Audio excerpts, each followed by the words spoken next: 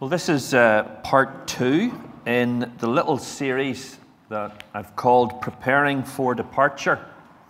And uh, last week we were thinking about both Paul uh, and Peter as they referred to their departure in the last letters that we have that were written by them.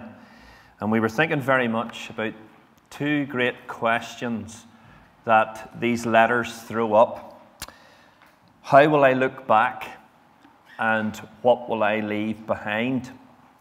And what we're going to do this morning is we're going to read the introduction to Paul's letter to Timothy, his, his second letter, as we call it. Uh, and then next week, we'll read the introduction to Peter's second letter, uh, which sets out the theme of what the men have to say to us as they contemplate their departure from this world to go to be with Christ.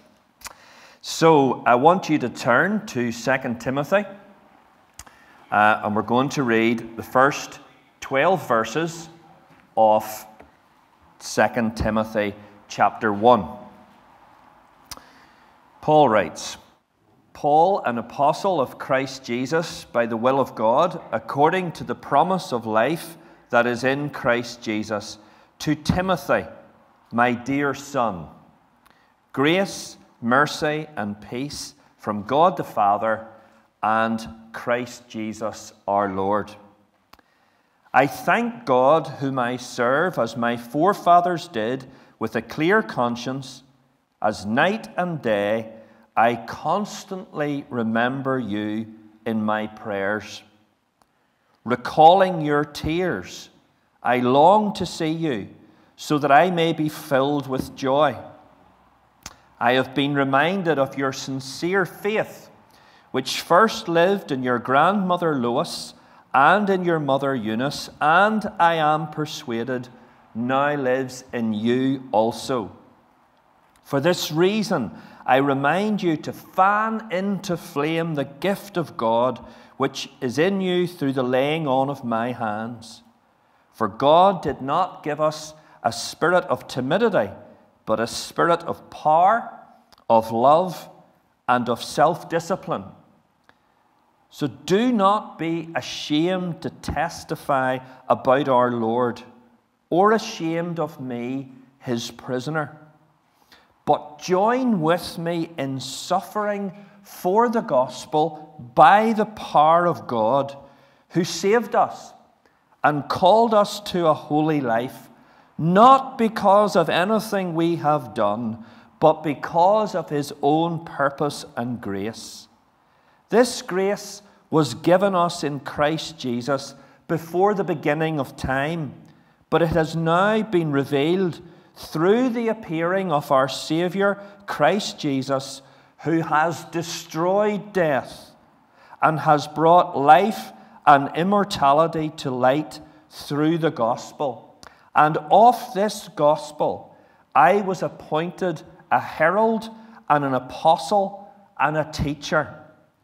That is why I am suffering as I am, yet I am not ashamed, because I know whom I have believed, and am convinced that he is able to guard what I have entrusted to him for that day. Amen. I think a helpful image for us to have as we listen to Paul talking to Timothy is that of a ship in the process of leaving shore. The moorings have been loosened, and Paul is on that ship, and Timothy is on the shore, and this is Paul talking to him.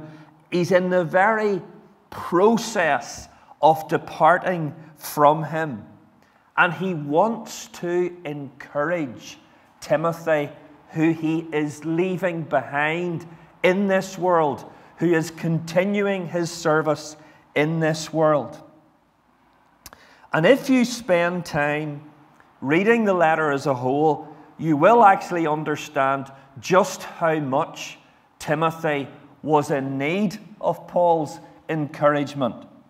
He was in an incredibly challenging church situation at Ephesus. Without going into it in any detail, but you'll find in the letter there were problems within the leadership of the church. Certainly, there was problems with what was being taught within the church. There were issues with certain women in the church.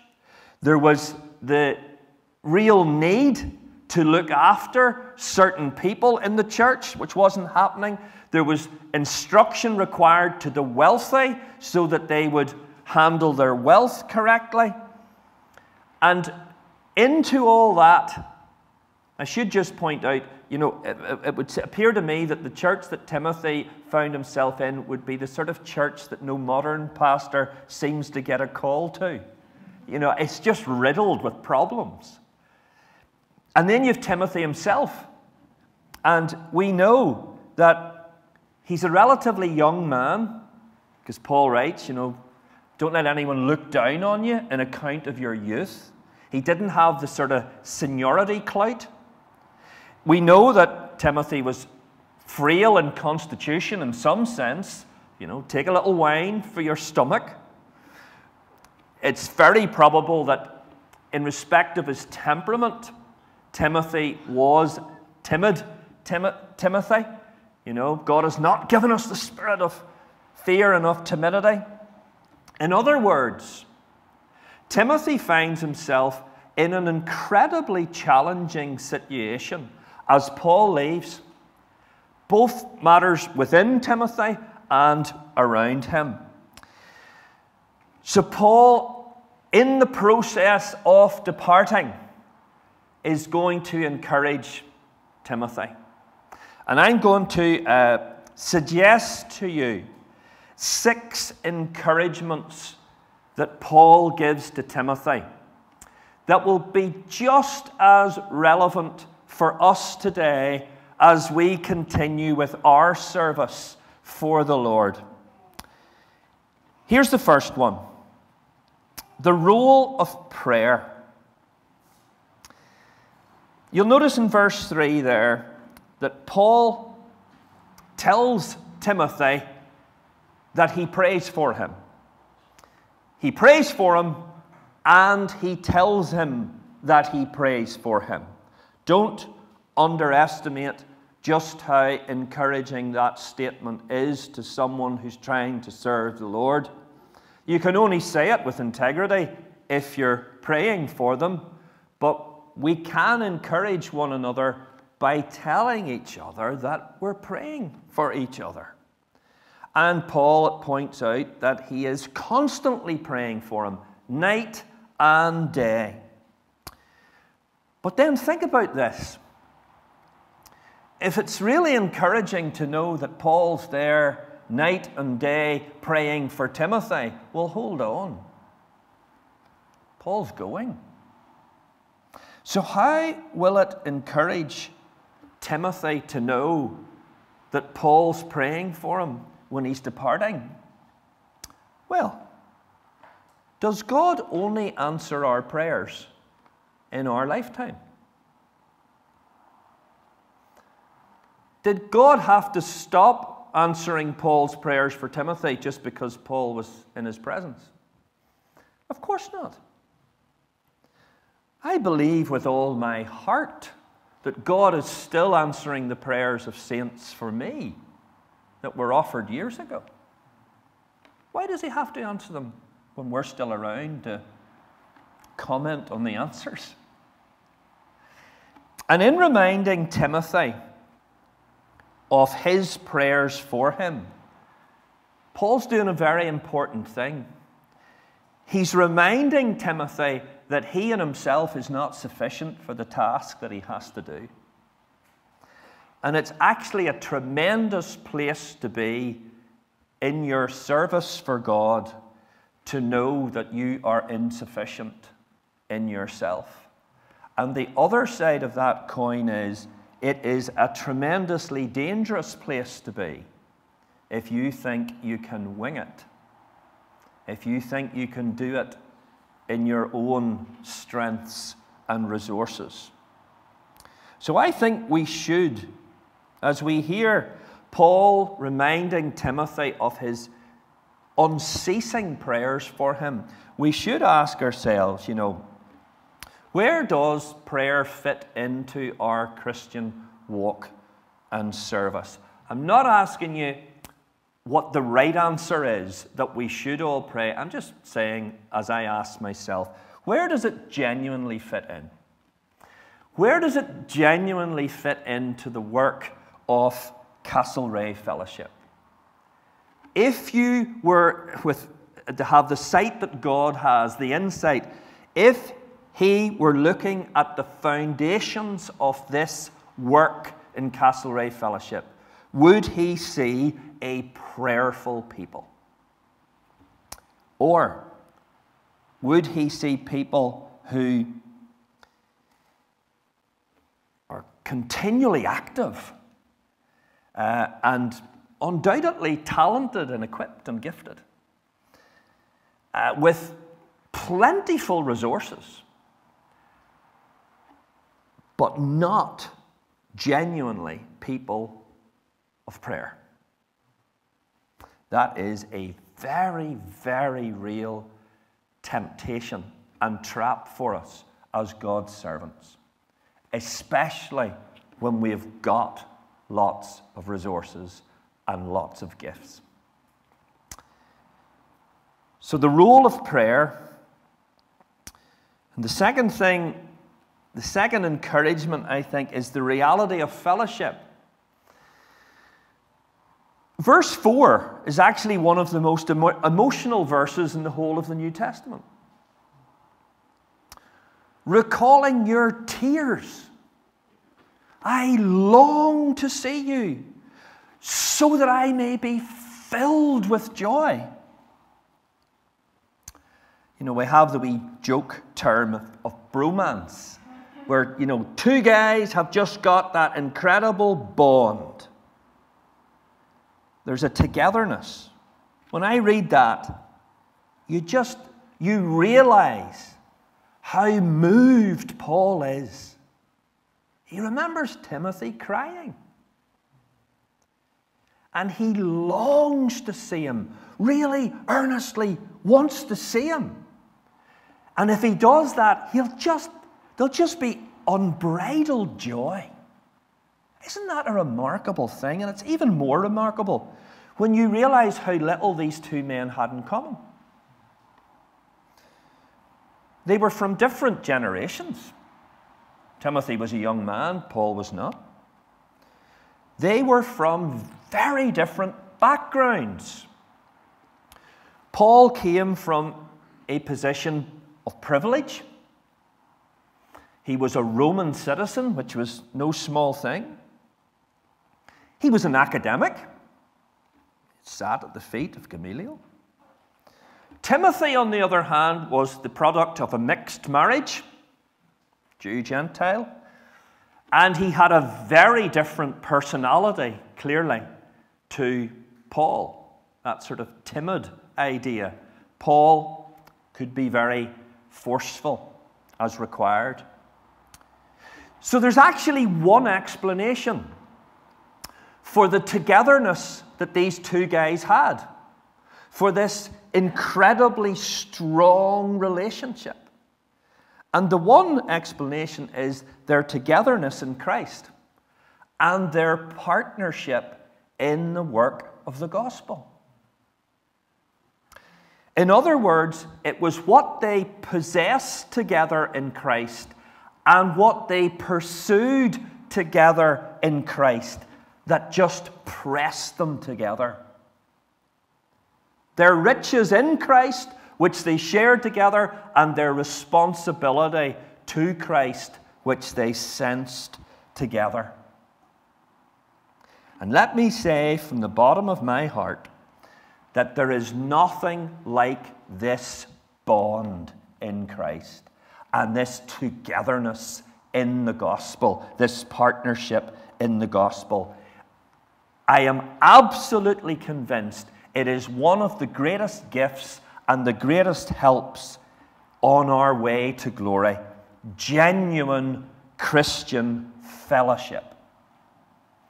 So, can I ask you, are you pursuing, are you investing in relationships like that? Because there is a danger that in our relationships, they're, they're largely functional, but they're not actually fellowship. You know, we do stuff together, there's lots of activity and all that. They can be functional, not really fellowship.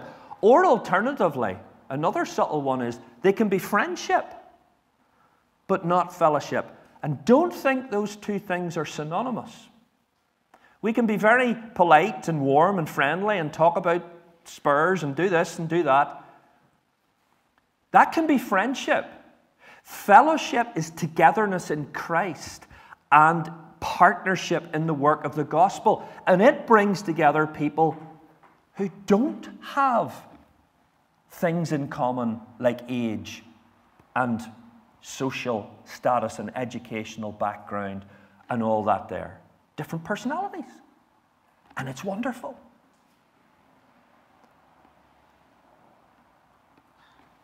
The role of prayer, the reality of fellowship, Third thing that Paul would say to Timothy is about this, the sense of heritage. The sense of heritage. Paul knows he's going. And he talks about his spiritual ancestors. I thank God whom I serve as my forefathers did. But then he reminds Timothy as well of his heritage. He makes a very immediate application. Because he says, You know, I see the faith in you now that was first in your grandmother, then in your mum, and now it's in you. And what Paul is doing there is he is impressing upon Timothy that the baton is now in his hand. Timothy, it's now your spot to play your part in that unbroken chain of testimony. If you think about this river of faithfulness that flows down the century, faithfulness of, of testimony to God, Paul is saying those waters are now lapping round your feet, Timothy. The baton's now in your hand. What should you do, Timothy? Well, the famous verse, 1 Timothy 2, verse 2, the so called Timothy principle. Here's what you do the things that you have heard from me, say in the presence of many witnesses. Sorry, and the things you have heard me say in the presence of many witnesses, entrust to reliable men who will be qualified to teach others. Timothy, you just keep, it's just going to percolate down through you to others now who'll just keep it going. The blessings of God are not just for purely for private consumption, they are for public distribution. And each generation faces the challenge of how the testimony to God will fare in its hands. And each individual Christian faces that as well. So, can I ask, as I ask myself, are we ready to receive the baton? Do you know how you receive the baton? When that runner comes running towards you with the baton in your hand, you're not standing like this, standing stationary doing that. You're actually moving in exactly the same direction as the person with the baton. You're looking in the same direction, and as you move together, you just put your hand back and it slipped in. You see, if you're standing still, you fumble the baton. And you see, if you're living life, I don't really take this seriously, but I, will man up. I'll, you know, what comes my time. Nope. Unless you're in motion, unless you're looking forward, you're not in shape to receive the baton and you'll drop it. And the testimony will drop on your watch. So let's face that a fourth thing that Timothy, that Paul would remind Timothy of And it's the calling of God. It's interesting in those 12 verses that we read together, Paul actually only tells Timothy to do two things. Read it and check it. You're to develop your gift, and you're to advance into suffering. So, only two things he tells him to do fan into flame the gift you've got, and join with me in suffering for the gospel, for the Lord. Verse 6 is a, it's a tricky one for the commentators. For this reason, I remind you to fan into flame the gift of God which is in you through the laying on of my hands.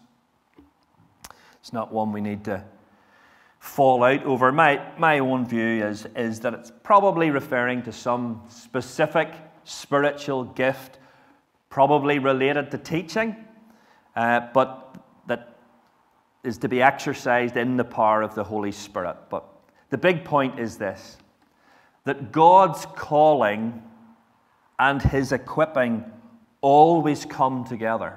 Yes, Ephesus was a tough gig, but he was equipped for the task. But here's the thing God's calling and God's equipping always come together, but there's nothing automatic about this. We must fan into flame we must choose to advance into suffering. Spiritual gifts are like muscles. If you don't use them, you will succumb to muscular atrophy. They'll just seize.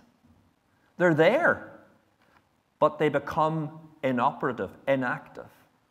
That's what spiritual gifts are. There is a danger with big church. I am not saying that this is inevitable in a big church, nor am I saying that a small church guarantees anything.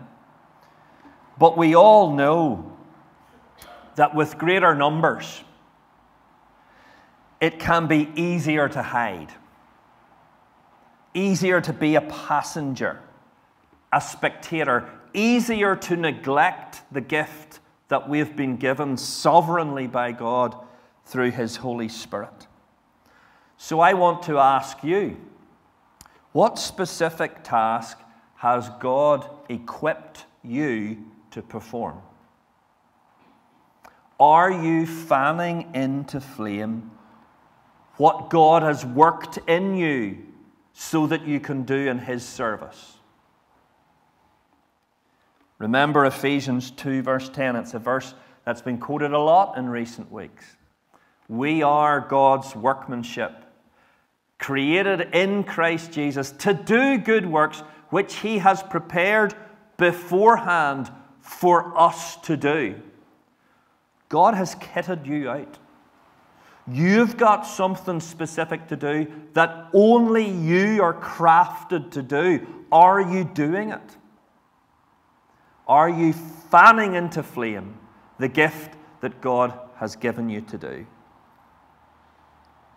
Fifthly, another encouragement for Timothy the wonder of the gospel.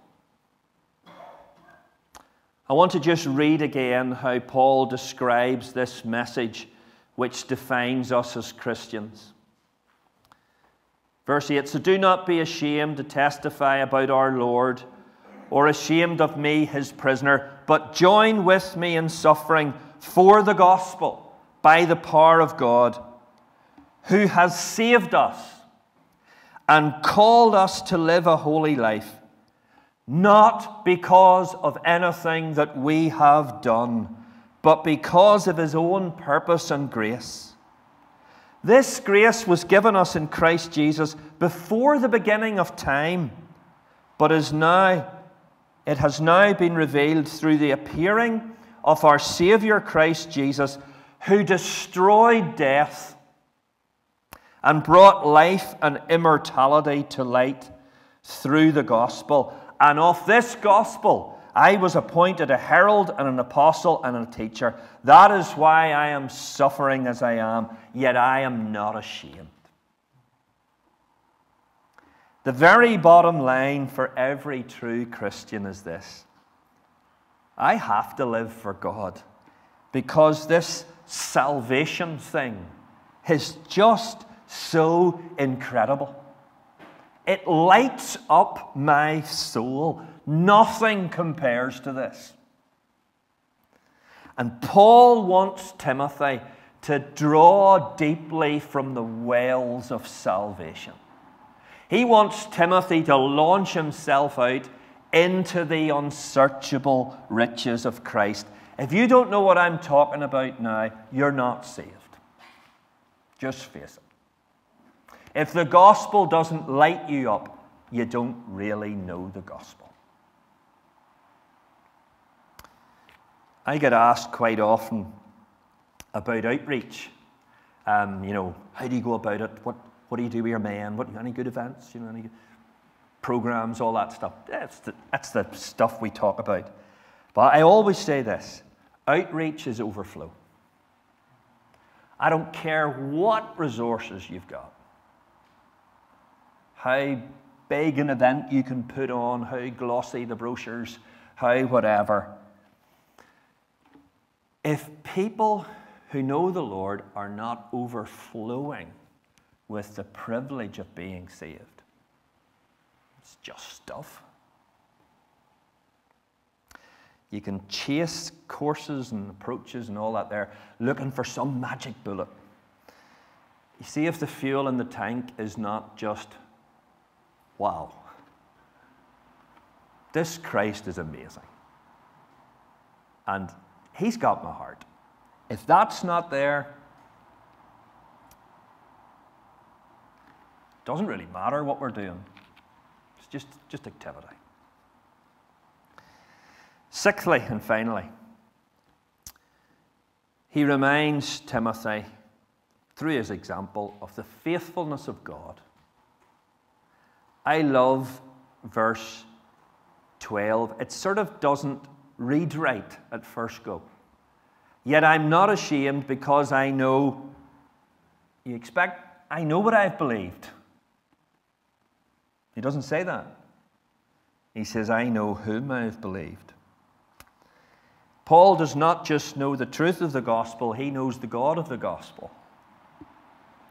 And he says that he is convinced. And that's, you know, absolute persuasion, certain assurance, total conviction, settled confidence, immovable trust, unshakable reliance. His confidence is in the ability of God, not in his ability. I know whom I have believed, and I'm convinced that he is able to guard what I have entrusted to him for that day. None of this is in vain, Timothy. Not a smidgen of our labor in the Lord is ever in vain. 1 Corinthians 15, verse 58. Why? Because God is faithful. And we can know such contentment in our service for God without acknowledgement or approval or popularity or apparent success if we're doing it for Him and we're leaving it with Him. Absolute contentment that on that day the story will be told. So,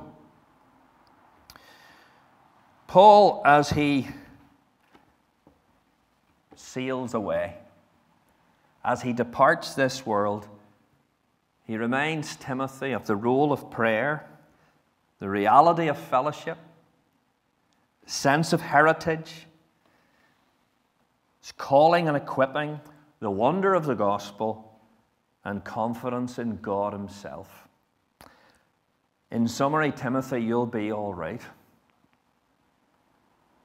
And Paul would say the same to us today as well. If we cooperate with God and let Him build those things into our life and service, we'll be all right against that day.